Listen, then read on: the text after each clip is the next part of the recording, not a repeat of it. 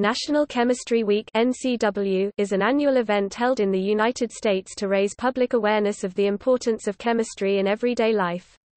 It is coordinated by the American Chemical Society ACS. National Chemistry Week is a community-based program that unites ACS local sections, businesses, schools, and individuals in communicating the importance of chemistry to our quality of life.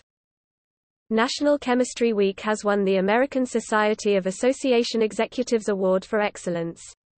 More than 10,000 volunteers and dozens of chemical companies donate their time, creativity, materials and funds for NCW each year, and reach many millions of Americans via print, radio, television, and the Internet, as well as in person.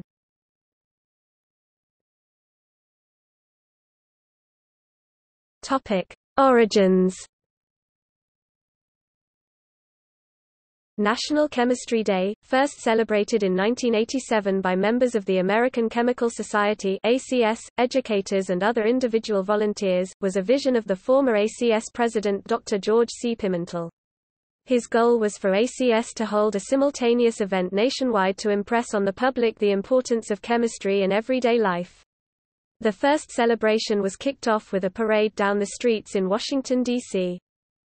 In 1989 the celebration was expanded to a biannual full-week event, and in 1993 National Chemistry Week became an annual celebration.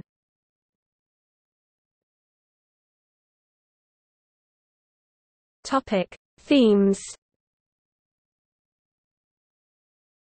Past and future themes for NCW include All themes and dates can be found at www.acs.org, NCW.